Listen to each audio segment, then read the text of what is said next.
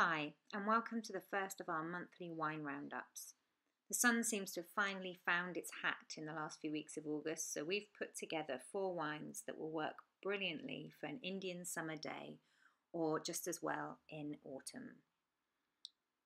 The first finds us with both feet still in the paddling pool, or preferably on a cheeky late summer break to the south of France. Yes, we're in Côte de Provence.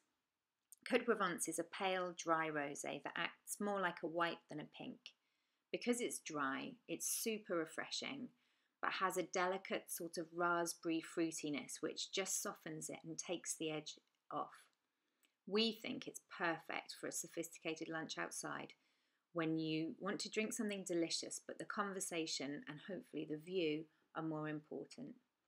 This particular one is Chateau Léoube which you mostly find in wine shops or restaurants. If you like the idea, you could also try Mirabeau, which you can find in Waitrose, or if you like the idea of a sparkly one, try a Saumur Rosé. Um, wine Society do a really good one.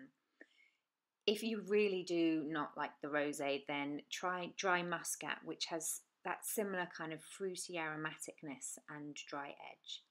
Check the blog or text below the video to get info on where to buy the wines that we're mentioning. The next wine has definitely got one or even both feet in the autumn camp.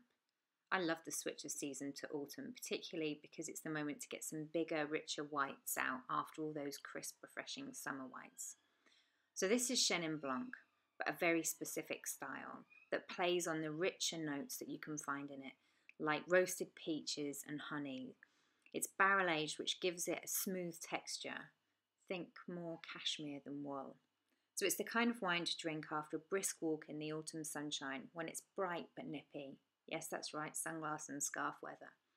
And make sure the chicken's in the oven as well. This is FMC and it's one of the best versions you'll find of this rich style of Chenin. It's made by the legendary Ken Forrester in South Africa. It's a sipper though and doesn't come cheap. So if you're looking for something a bit similar, you could try something like Cornelia from Marks and Spencer's, which is also delicious, or a dry Vouvray. And if you like the idea of that peachy honey flavour, then maybe um, Yalumba's Viognier from Australia would also be delicious. Okay, on to the reds.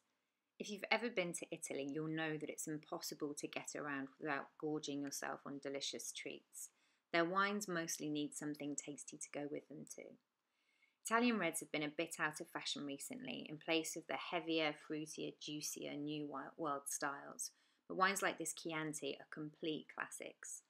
The genius is the balance of intense cherry with a tang of acidity and a gum tingling firmness, which means they can stand up to any food you throw at them, from cold meats to bolognese.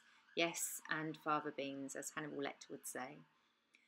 We picked this Castellari wine partly for its gorgeous label, but also because they make stunning wines in traditional styles. Again, this is more likely to be found in wine shops, but if you like the idea and can't find this, you could have a look for something a bit cheaper and easier. So you could go for um, something like Morrison's Signature Chianti, which is great value in the same vein or some another Italian red like Valpolicella Ripasso or Barbera, which also have that lovely tangy dark cherry flavour. Dark cherry flavour. Uh, Co-op do a great Valpolicella Ripasso, and Marks and Spencers do a lovely Barbera. For our final September wine, we're moving on to the bubbles, but no ordinary ones at that.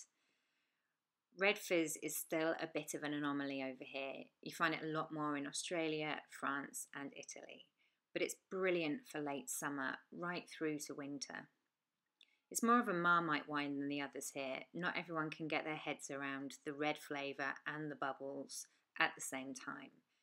But you need to remember it's not as heavy as most red wines, and you drink it chilled so it feels a bit lighter. I was drinking some with my mum the other day, and she said she thought it was a good red wine for white wine drinkers. So this is a sparkling Shiraz from Australia and it has gorgeous sweet blueberry flavour along with a serious grind of black pepper. It's brilliant with barbecued or char grilled flavours and adds a definite shizzle to your party. Majella, who make this, are out in the Coonawarra in southeast Australia and it's probably safe to say that they'll be drinking this with their turkey on Christmas Day, which is pretty traditional over there. There are a couple of different styles of red fizz. This is sparkling Shiraz, as I said, and you get Shiraz and Cabernet mostly from Australia. They're the most full on style.